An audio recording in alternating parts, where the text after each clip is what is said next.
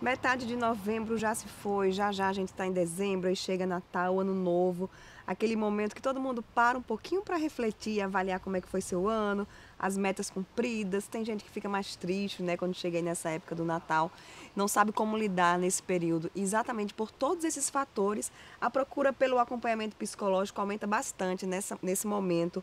É uma decisão muito importante, muito acertada que quem está aí se fazendo esses questionamentos deve fazer.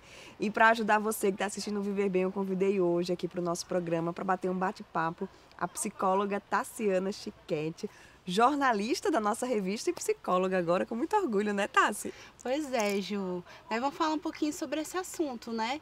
Porque realmente no final do ano a demanda cresce, né? As pessoas têm a tendência de reavaliar, porque é um ciclo, tudo bem que é um ciclo social, né? Os 12 meses.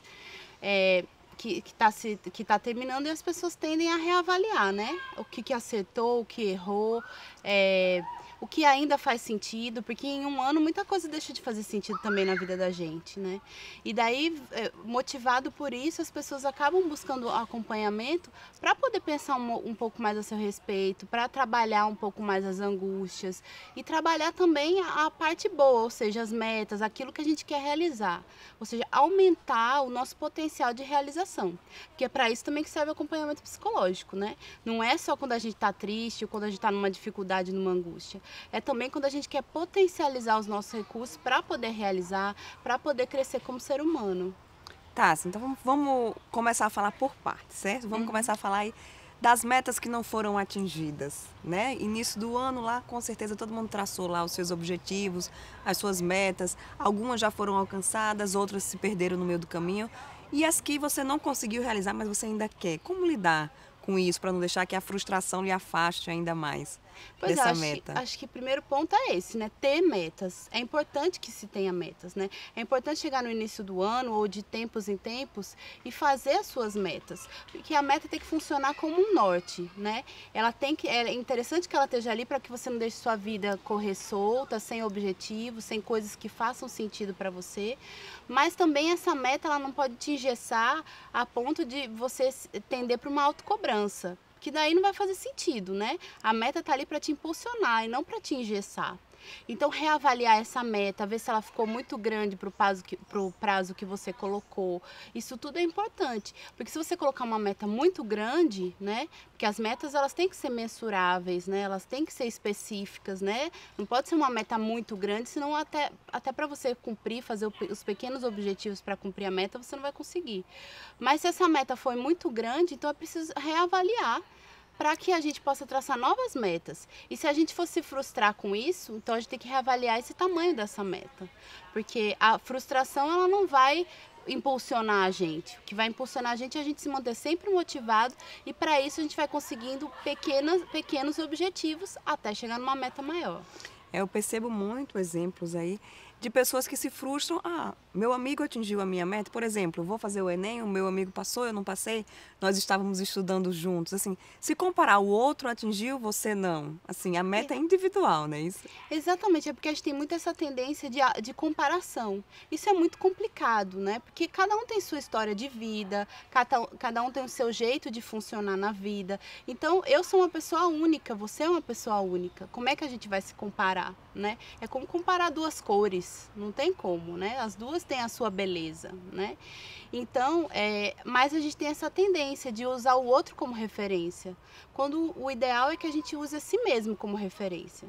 Daí entra o trabalho de acompanhamento, de autoconhecimento, né? De acompanhamento psicológico, de autoconhecimento. Porque se a gente não sabe quem a gente é, se a gente não sabe os nossos potenciais, se a gente não acolhe o nosso lado mais, mais sombrio, digamos assim, aquele lado que a gente não gosta muito na gente, mas que é preciso acolher.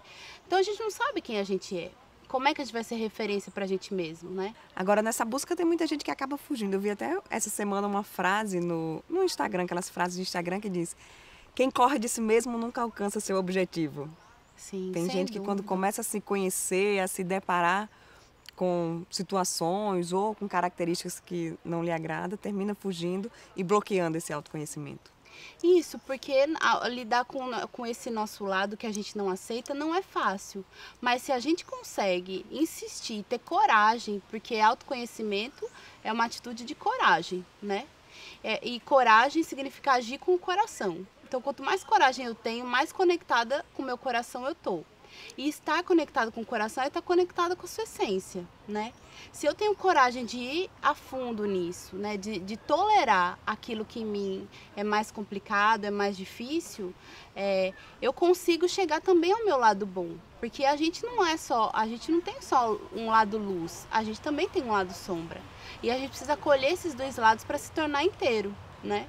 Então, se a gente tem coragem de ir além disso, né? Por isso que muita gente também desiste do, do processo terapêutico, porque quando ela se depara com coisas que ela não quer mudar, então ela para o processo. Mas se ela insistir um pouco mais e realmente se abrir, ela vai ampliar a consciência dela. E com certeza ampliar também as estratégias de enfrentamento para tudo na vida dela. Ótimo, tá. O ano está terminando, praticamente, né? Já terminou, se a gente for contar de 11 meses, já, já se foi praticamente o ano todo. Mas assim, como lidar com esse momento, né? Reavaliou as metas, vai começar um ano novo, tem gente que traça as novas metas, fazer esse planejamento. De que forma um psicólogo pode ajudar aí nesse processo? Sim, o psicólogo pode ajudar te, te acompanhando nesse processo, né? A tocar as suas feridas, a tocar as frustrações que, que você sozinha não você sozinho não consegue, né? E que foi resultado do ano todo.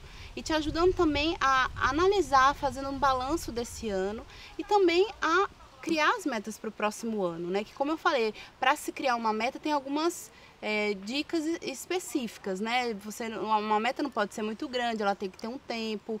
A gente vai refletir junto no trabalho terapêutico o que realmente faz sentido para aquela pessoa, né? Porque às vezes o, o, o ano a, aconteceu, aquele trabalho já não faz sentido para mim, aquele relacionamento já não faz sentido para mim, mas eu ainda tenho medo de soltar aquilo.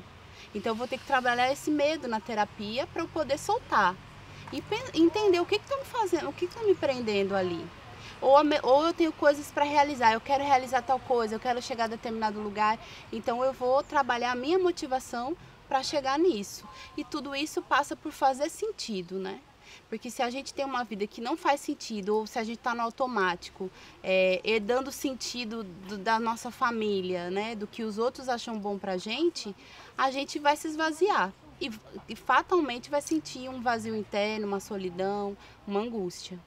Ótimo. Então, resumindo aí, infelizmente nosso tempo é curto, mas assim, o conselho da psicóloga Tassiana para quem está aí assistindo Viver Bem e quer aproveitar essa virada do ano para se conhecer e dar aquela virada na sua vida. Eu acho que é aproveitar esse final do ano para refletir, né, para fazer um balanço do que passou, para realmente estabelecer o que ainda faz sentido e o que não faz mais e tentar associar o que não faz sentido a, o que está me prendendo ainda nessas coisas sem sentido? Tentar analisar por esse caminho. E, e começar também a criar suas metas para o ano que vem, né?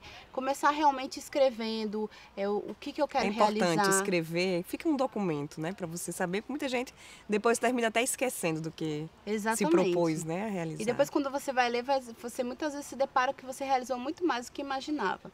Então é você escrever suas metas, metas que sejam possíveis, alcançáveis e, e traçar os os tempos dessas metas também. E outra coisa que eu gosto muito de falar é sobre a gratidão, né?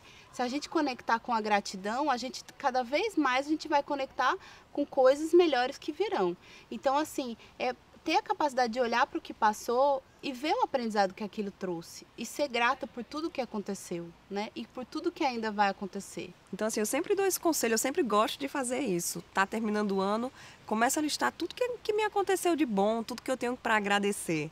E como você falou, a gente termina e faz, nossa, não, não tinha consciência de que foram tantas coisas boas, né? A gente termina se prendendo muito nos, no que falta ainda, né? No que falta para o copo encher, mas o copo já está bem cheio aí, tem muita coisa para a gente comemorar. Exatamente. Eu acho que é legal que você perceba o que, é melhor para você. É escrever, é fazer de repente um cartaz com imagens, com desenhos daquilo que você quer realizar, ou refletindo sobre o que passou. Enfim, encontrar o seu jeito, né? E o processo terapêutico pode também ajudar nisso. Ótimo. Tassiana, muito obrigada. Tenho certeza que suas palavras ajudaram bastante aí nossos telespectadores que querem viver bem aí em 2017. Obrigada, Ju. Até a próxima. E seja sempre bem-vinda, né? Aqui é o nosso programa. Obrigada. Viver Bem vai agora para um rápido intervalo. Não saia daí já já. Tem mais dicas de saúde, beleza e qualidade de vida para você.